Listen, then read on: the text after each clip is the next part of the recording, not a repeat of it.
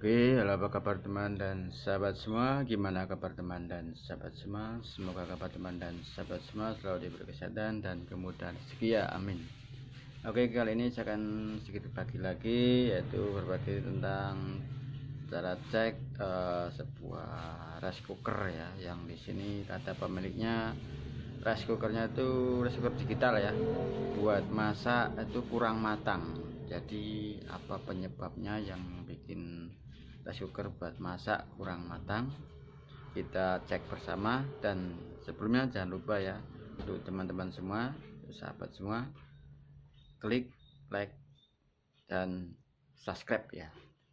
E, dan komen ya dukung channel ini ya agar selalu semangat berbagi wawasan dan berbagi pengalaman dan berbagi amal jariah bersama ya. Oke kita cek bersama e, seperti apa perusahaannya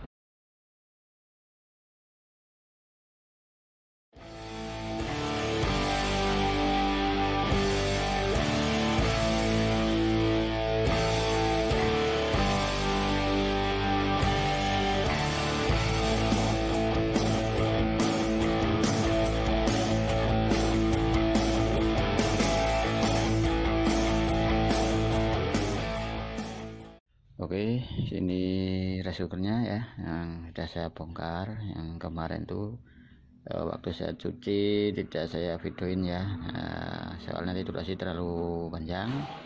Di sini ada otomatis ya seperti Magicom biasa tapi di sini perbedaannya yaitu memakai sensor. Di sini ada sebuah sensor seperti dioda Yener tapi bukan dioda Yener ya di dalam sini ini kan kabelnya ya jadi mengarah ya. Jadi kalau kerusakan sensor tinggal kita ukur pakai multi ya di ujung sininya. Kalau masih bergerak multinya dikali 1 dikali 10 berarti sensor masih bagus. Tapi kalau tidak bergerak berarti sensor rusak. Fungsinya hampir sama seperti magicom biasa ya. Tapi kalau magicom biasa itu otomatisnya itu di dalamnya ada magnet. Kalau ini sensor ya. Oke? okay? Nah di sini sensor masih bagus dan sudah saya bersihin. Di sini fuse juga bagus ya. Ya istilahnya bagus ya karena masih bisa buat masak. Dan waktu saya cek di sini kalau untuk misalnya ya misalnya kalau gejalanya itu nyala tapi tidak bisa masak cek aja tulis sininya pakai multi ya kali 250 volt AC ya karena nanti tekan AC kalau bergerak berarti masih bagus kalau tidak bergerak berarti permasalahan ada di daerah modul ya.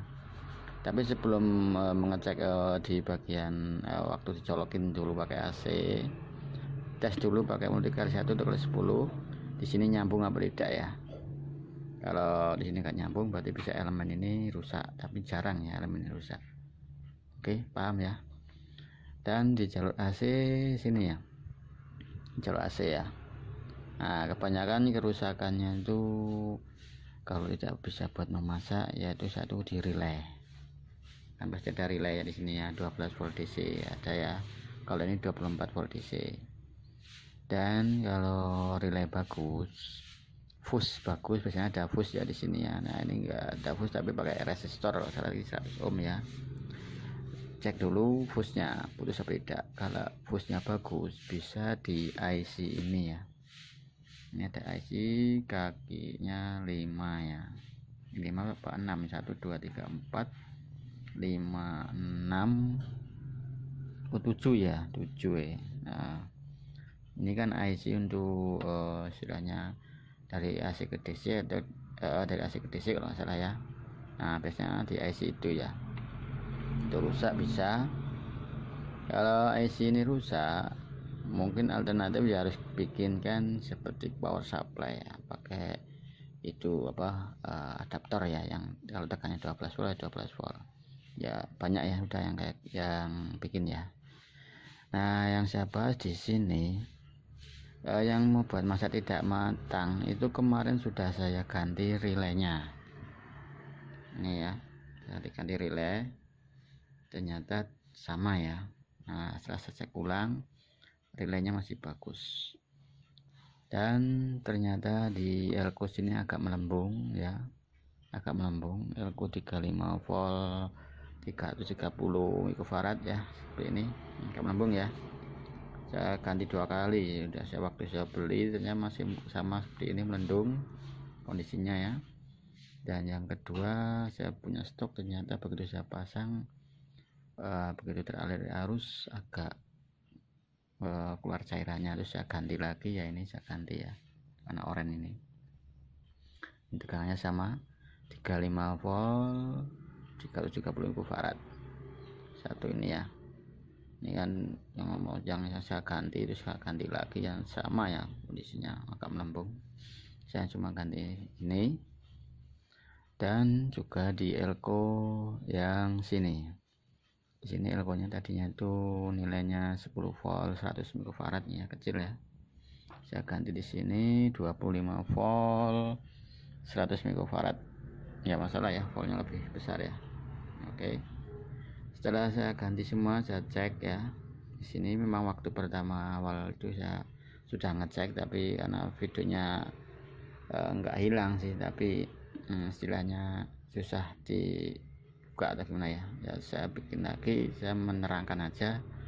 Habis itu saya colokin terus di sini keluar tegangannya. Seperti ini contohnya bentar.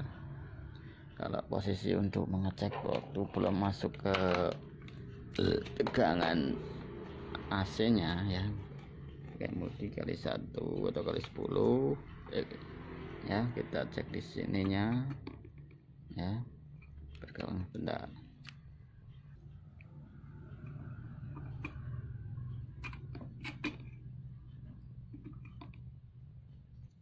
Oke, kita untuk mengecek elemen seperti ini ya, elemen yang bundar. Sini kan bergerak ya.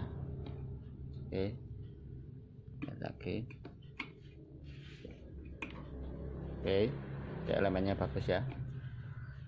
Nah, kalau elemennya bagus, misalnya di aliran listrik tidak keluar tegangan di 250 AC volt, biasanya coba di relaynya biasanya awalnya harus ada bunyi mak klik gitu ya kalau ini normal. Kalau nggak ada suara klik gitu berarti bisa juga relay rusak atau fuse putus ya atau IC itu. Oke semoga bisa dimengerti. Semoga keterangan ini jelas ya.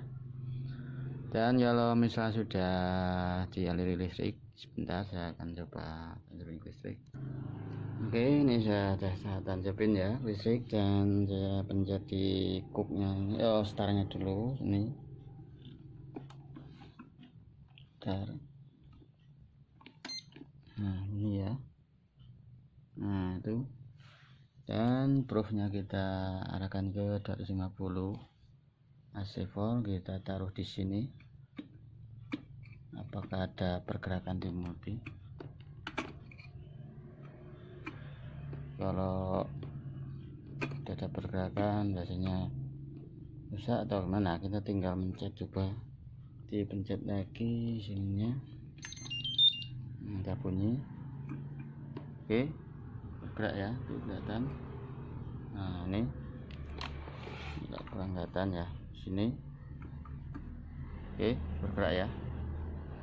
Berarti ini sudah normal ya gejala awalnya kalau misalnya eh, tidak ada tegangan atau enggak keluar tegangan AC nya yaitu mengeceknya seperti itu ya. Dan di sini sudah saya cek semua dari kabel uh, untuk elemen normal semua ya. Dan di IC nya itu program normal karena digital keluar cuman buat memasak tidak panas. Jadi kerusakan di sini ternyata ada elko yang melambung ya. Karena semua sudah saya cek normal. Oke. Saya kira cukup seperti aja cara pengecekan dan penjelasannya. Bila pengecekan ataupun penjelasannya kurang jelas kurang akurat mohon maaf. Semoga video ini bisa dimengerti. Semoga setiap video-video yang saya tampilkan atau saya bikin vlog atau konten itu bisa membantu teman-teman semua ya. Semoga semua videonya itu akurat dan jelas ya. Oke dan yang suka video ini boleh tekan tombol like. Yang nggak suka boleh tekan tombol dislike bila video ini bermanfaat boleh share ke teman kalian sebanyak mungkin. Kita sama-sama beramal jariah berbagi ilmu berbagi wawasan dan berbagi pengalaman. Dan jangan lupa juga bila berkenan boleh tekan tulisan merah subscribe ya. Dukung channel ini agar selalu semangat berbagi ilmu berbagi wawasan dan berbagi pengalaman bersama-sama beramal jariah ya berbagi ilmu. Dan jangan lupa juga baca di deskripsi karena di deskripsi juga penting. Di deskripsi, di deskripsi itu teori video itu praktek ya. Ada uh, teori ada praktek. Kalau nggak ada teori nggak ada praktek kurang pas. Ada praktek ada, uh, ada praktek ada teori juga kurang pas ada teori nggak ada praktek juga kurang pas ya oke maaf maaf agak belibet Oke, dan jangan lupa juga tekan tombol lonceng notifikasi agar selalu tahu video terbaru dari saya. Oke, sekian dan terima kasih. Salam sukses untuk kita semua. Ya. Oke, saya mau cek apakah nasinya sudah bisa dimasak. Duh panas. Oke. Duh panas. Oke. bisa dimasak ya, tapi tadi saya ngambil nasinya dikit dan airnya terlalu banyak apa tidak nggak tahu ya. Tapi sepertinya saya menakar airnya tuh sudah cukup ya. Sesuai ya. Sesuai takaran. Kita tunggu saja apakah nanti bisa matang ya. Oke. Itu panas. Oke kita nanti coba tes